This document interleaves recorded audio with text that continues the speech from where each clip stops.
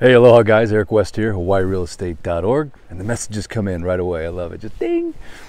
Hey, if you're new to the channel, welcome back. I'm all about teaching you everything there is to know about this beautiful place called Hawaii, and it's real estate, but you can't find in the listing. And today we're going to talk about the top 10 things that you should know, not just to survive, but to thrive in Hawaii. I know a lot of you guys are thinking about moving here, have moved here, or about to move here.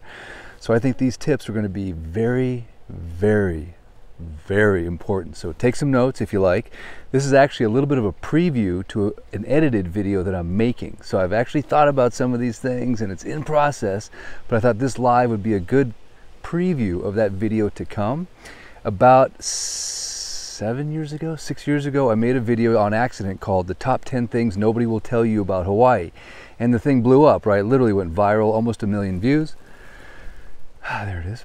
And uh, that's kind of how I got introduced to YouTube. YouTube does that, right? If you make a video that they think is cool, or the algorithm thinks it's cool, it just blasts it out there and it goes, hey man, make some more of those. Of course, I never had a video take off like that again, but that's okay. Maybe someday. And the next one I made was like, what nobody will tell you about Maui. And that was more like all the things you should do when you come here. Another top 10 video. So I'm making another top 10 video called the top 10 things you need to know, not just to survive, but to thrive in Hawaii. So we're going to talk about that a little bit. The sun's just going down. I've been a little bit absent recently. I realize that. I'm aware. I've got two reasons. The first reason, been busy, been showing houses, writing contracts, buyers on island, working man kind of thing, you know. But number two is I've had some weird, strange back pain that has just been like haunting me for like too long, right? So I've been on this quest. and I haven't been sick, no COVID, none of that. Just this crazy, achy, irritating, what the heck, ache in the back. Like, not just anywhere, just like the whole like thoracic region. So, anyway, I have a solution though. I figured it out. Praise the Lord. It took me a while. Don't ask me where the, how I figured this out, but for anyone that's watching this, maybe this message is for you, and maybe we all go through certain things together so we teach each other how we got through it and we benefit and learn and knowledge and growth and aloha and who knows what it's all about. I have no clue. But I will tell you, this is the solution that I found, and it absolutely is a game changer, man. I'm telling you, man. Ah. So if you're if you're struggling, or if you just are a health fanatic like I am, I'm a, literally a health fanatic. I am like I should not feel any pain because I don't do anything I shouldn't do. Honestly, I don't.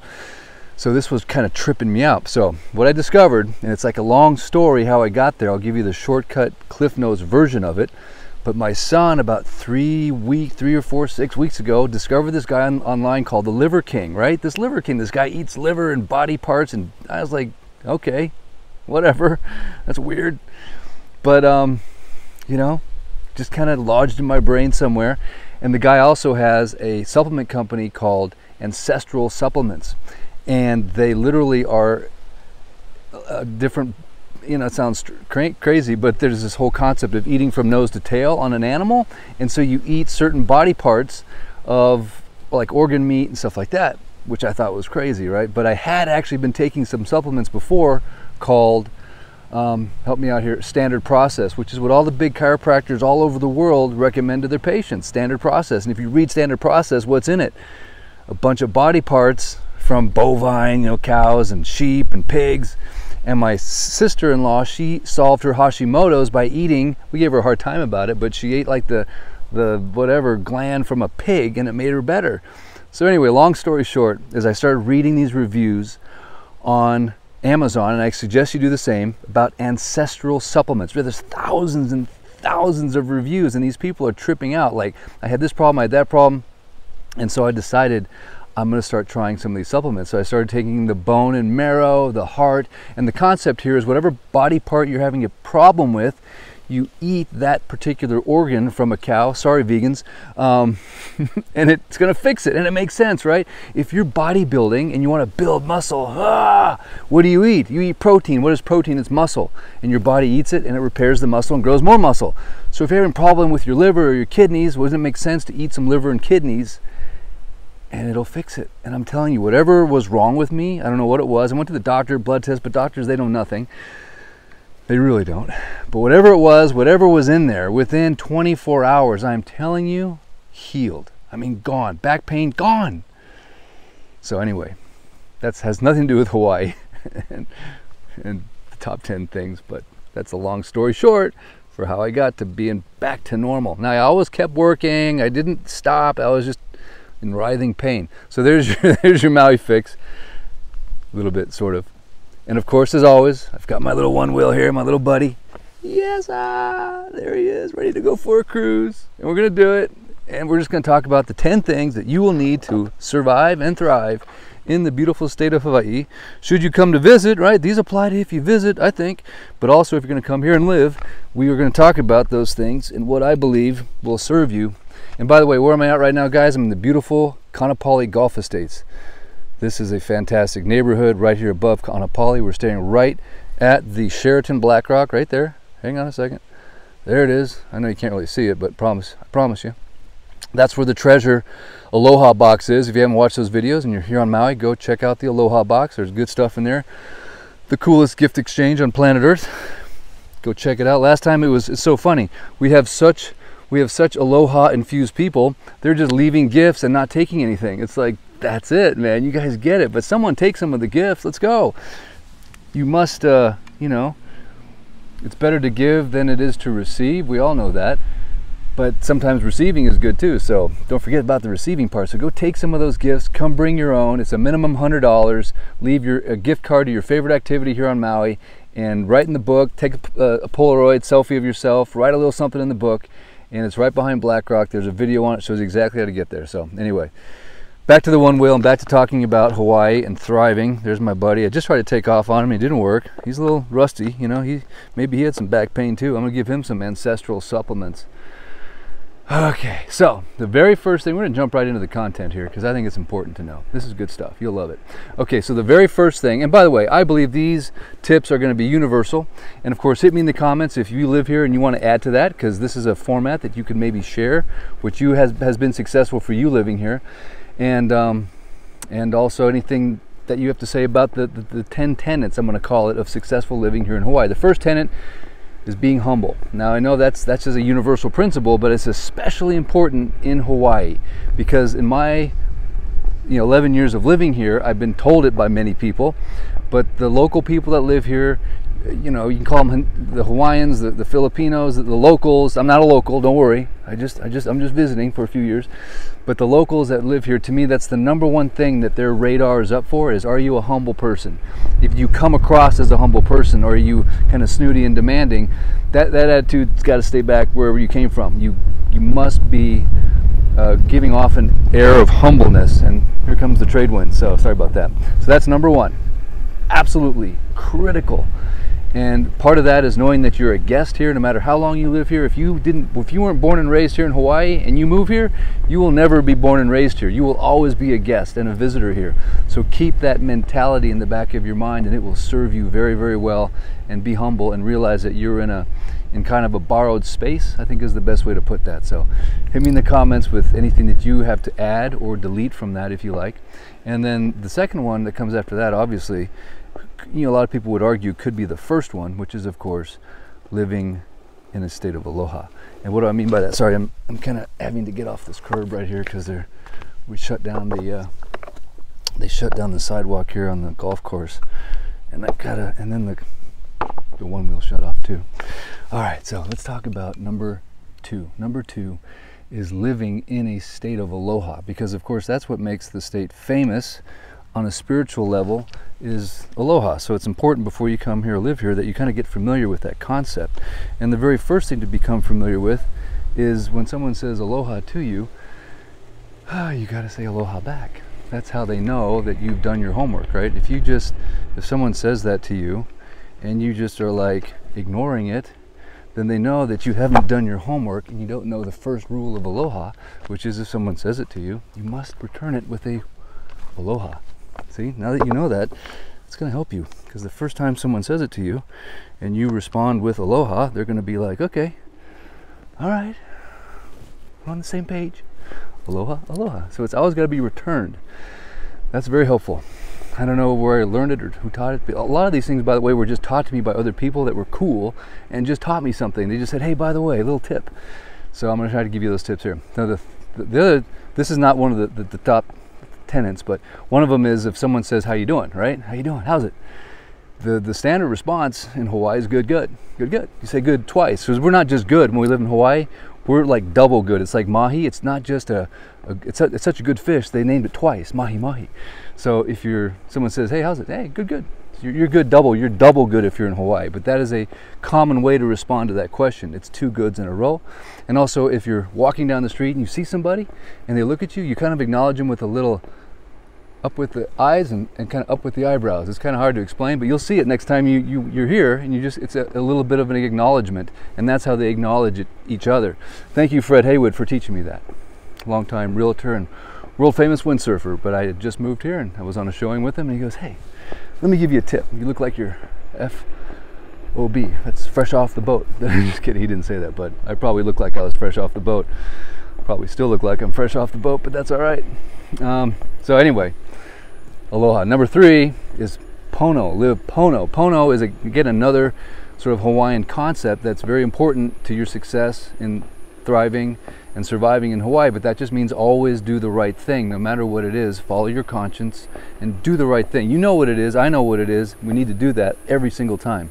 And that to me is part of what creates the culture in Hawaii is that people here live. You'll see the bumper stickers, you know, Pono, live, do the right thing, live in a right way, do the right thing towards others, towards yourself. And that's what creates a special space in Hawaii that you might not find anywhere else in the world because that vibration is being sent out there, not just on bumper stickers, but it's ingrained into the hearts and minds of the people that live here. Live Pono. So we got be humble, live aloha, and live Pono. So those are the first three tenets of successful living in Hawaii for thriving and surviving. And those to me are sort of like spiritual, ethical sort of concepts that are really important.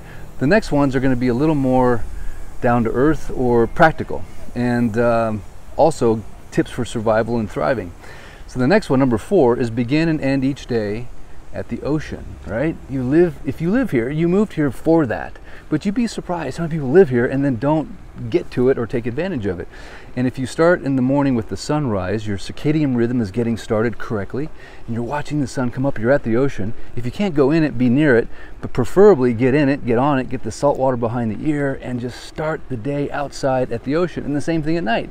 One of the reasons I do the Maui fixes, sometimes, if I can, when I'm working, not working, Turn the camera for you guys, I'm kind of working, but not really, um, is to be there when the sun goes down, right?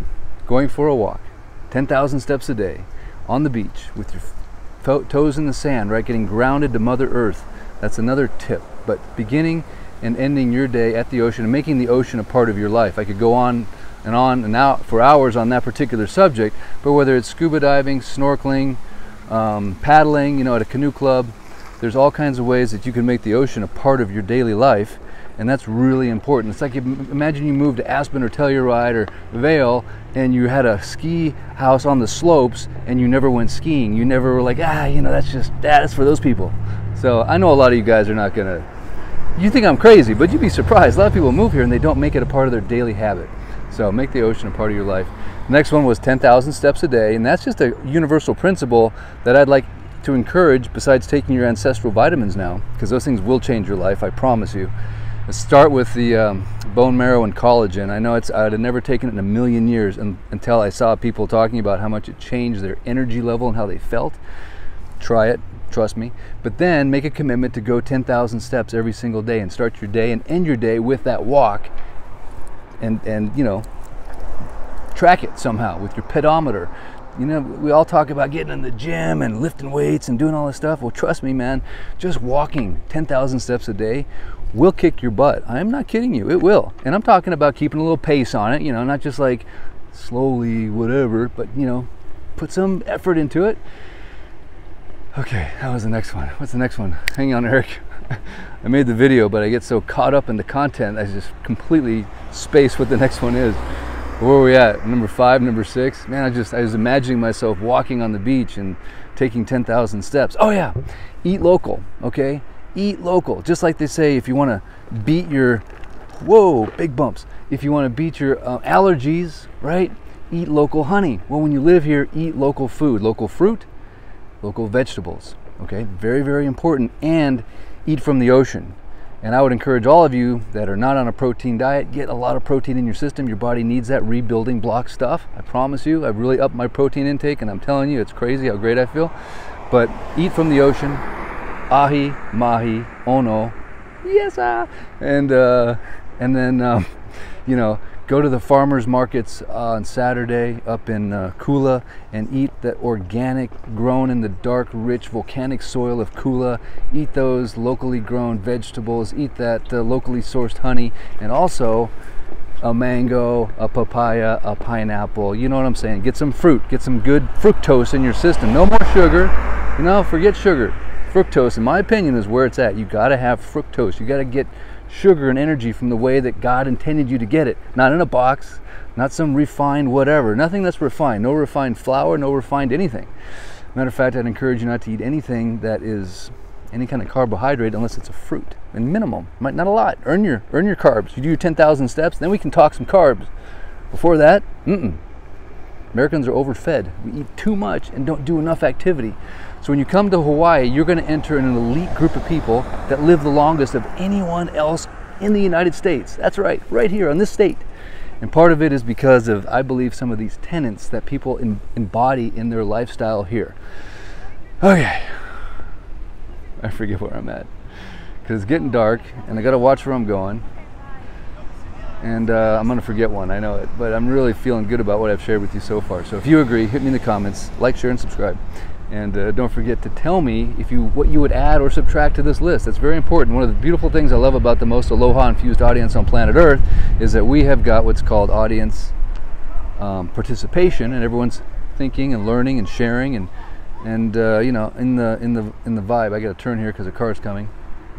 So be sure to do that. Okay, we talked about. Oh yeah. Okay, now now hang on. Water. Water's on the list. I know. Top ten a lot of you guys are moving here, you're not from the tropics, right? You don't live at the same, you know, we're in line with the equator, man. It's hot here. The sun is intense, bro. It is, it'll burn you. But if you live here for a while, you won't get burned anymore. But you got to drink water. No matter where you live, you got to drink lots of water. But at least two to three liters a day, and with a pinch of sodium that will help you absorb the water. It's just like if you go to the hospital, the first thing they're gonna do is hook you up to some IVs, and the IVs have what? Saline in them. Do they hook you up to fresh water? No, they don't, because that would kill you. If they pump fresh water in your veins, you would die. But if it has a little bit of salt in it, then it can pass through the cell membrane. So anyway, that's a little tip, I believe. Hang on a second. Got to make sure I don't get run over by these people. Oh boy. Okay, back on the sidewalk. Yes, ah. Okay, now I'm at Whalers Village, by the way, in case you're curious. Okay, where was I at? Water. I know there's other stuff. I don't have like a list numbers. It's just all coming from. I have no idea. But the, the next one is go shopping at Whalers Village as often as possible. No, just kidding. That's my wife actually. That's her number one tenet for success on Maui. Go shopping. But actually she's buying cool stuff for our clients for closing gifts. So that's her one of her jobs. So anyway, the final one, I, I know I'm probably missing one, but the final one that I have on my list, I made the video already, I'm just editing it. The final one is this. Participate in the community. So no matter what, man, the wind uh, no matter what, give back to the community and get involved in the community, which means what? Which means volunteering, but also going and playing pickleball, getting involved in a paddling club, giving back to children, orphans, widows, soup kitchen, whatever, whatever you're feeling that you want to do, go do that. Get involved because all of the health benefits don't really matter if you don't have that social glue that the body needs. It releases endorphins, it releases something into your system. When you go do that, the community is better for it, you're better for it. And after COVID, people I think are still a little cubbied up and like scared. Get out there and be a part of the community in whatever way you want to do that. But it's very, very important. And it's not just volunteering, but it's also being social, making connections, making new friends, going out to dinner, saying yes instead of no. One of the things my mom always joked about, she was from Germany. And in Germany, when people say, hey, you know, I'll see you next week, and Germans would be like, okay, what time? And what, you know, they would actually see each other next week. Americans say it and they don't mean it. It's just like a, a cliche. It's just sort of the vernacular. Hey, yeah, we'll get together next week. We got to do lunch. And guess what? It never happens. So make those social connections. Give, give, give to the community. And that's number 10. Not the least important. It's probably, well, they're all important, don't get me wrong. But anyway, guys, I'm here at Whalers Village. I'm just going to turn the camera away from me because I've been giving myself way too much airtime just to show you what's going on here at Whalers Village. And um, I don't know. I, I can't talk, you know, freely when I'm around people shopping. But I just kind of want to show you a little bit about what's going on here at Whalers Village, show you the numbers. Been a lot of people here. If the security guard sees me, I'm definitely going to get kicked out. But if you just joined the live, this video is all about taking what I believe are the best supplements you can find right now on planet Earth called Ancestral. No matter what, look it up on Amazon. I'm not getting paid. I don't care about money in that regard. I just sell real estate for a living. Um, but check out the Ancestral vitamins. They will make a huge difference in your life. I promise you. You will be one of the 5,000 reviews on Amazon that will say, you know what, on day two, I felt the same energy I had when I was a teenager. And I'm telling you, you will. There's something in there. I don't know what it is. The second thing was talking about how to survive and thrive in Hawaii, the top 10 tenets. I, I, I, I made an edited video on that, but um, I just kind of spoke from the heart of what I think I made in that video. I'm editing it right now. But if you haven't had a chance, make sure you go back and listen to the recorded version of it. Give me your honest feedback. Hit me in the comments. And if you live here and have been successfully living here for a while, love to hear what your top pieces of advice are for people that are either moving here, about to move here, or maybe they've lived here for a while and one of these tips could make a big difference in helping them assimilate, live longer, be an important member of the community, create better social bonds, and make sure we keep up with our statistic that says we are the longest living Americans on in the, in the 50 states. Not just because we have a mentality of good good, which means everything is double good in Hawaii, which it is. Sorry, it is as good as you think it is, and probably more. Um, but uh, we actually do live longer. We actually do, statistically speaking. It's not just the shaka vibe. I think it's all of the above, man. If you do the right thing, if you're humble, if you live aloha, if you start and end your day at the ocean, if you eat local stuffs, good local grown grinds, eat some honey from the local bees, drink fresh water with lots of electrolytes in it so your body can actually absorb the water. If you go listen to live music with an ukulele, you cut out the bad carbs and you cut out maybe even the alcohol. You know, I haven't had a drink in a few months now and I feel fantastic, man. That's probably why my back went into a spasm. I was like, what the hell are you doing, Eric? No, just kidding. anyway, it's too funny. But it wasn't a back spasm, man. I don't know what the heck it was. It was not going away, though, until I got some, whatever that cow organ needed, my body needed, it assimilated, and now we're back in the game. Yes, ah. So here we are on the boardwalk in front of the whaler. It's pitch black dark out. I can't see a thing. My Maui Jims are still on because that's just how I roll. I don't know what it is. Beautiful, fee simple property right here. Of course, I'm a practicing realtor in the state of Hawaii, so if you ever need to buy or sell property, love to be your guy. Don't forget, take care of your wait staff. Tip more than you think you should, and go down to Front Street and buy some stuff from Fish and pay him double his retail asking price because Fish is a good guy. Don't forget Fish. Fish is out there, man. Remember, there's a fish somewhere in your neighborhood go do a shout out for the fish that's down your street. And I promise you, you'll be thankful. Anything you can do to help your fellow man. Because let's just face it, man, this whole COVID thing has gotten people weirded out, just whatever, just so over it. Let's just forget about that whole thing and just think about that sunset and creating a beautiful sunset of energy in someone's life that's near you, around you, that you know, don't know, or want to know, get to know. And if you hate them, they piss you off, then you should really do it. Because that's the call, right? That's what changes the world right there. And that's what we need to do. And we need to start with the United States of America. And it's coming. Change is coming. We can start with lower gas and food prices. Who's ever in charge out there, help the common man, because that is the staple of life, right? That and sitting in front of a fire, exchanging stories. All right, guys. Well, I will say, it's getting a little hairball on the one wheel down here. There's the beautiful Black Rock Sheraton. So I think I'm going to sign off. I want to say thank you guys so much for tuning in. It's dark. I got to watch where I'm going. Speaking of aloha and fellow man, I want to run somebody over. A little kid right there. But thank you so much, guys. I really appreciate you tuning in. I know it's been a while, but I promise I'll be back. I don't know where, I don't know when, but I promise you'll be from the most beautiful place on planet Earth, the state of aloha. And if you're coming, hit me in the comments, let me know, and I'd love to say aloha to you next time you're on Maui. Thanks so much, guys. Eric West out. Remember, ancestral supplements will change your world. I promise you. Like money back guarantee too, so it's not like you got anything to lose and I would never come on and endorse something I didn't was like totally freaked out over. So check it out. All right, guys. Hope you have a, have, have a great night. Till next time. Longest sign offs in YouTube history. I know. I know. See ya. Can't find the button. Maui Dan, where are my bifocals? Help me. Help me.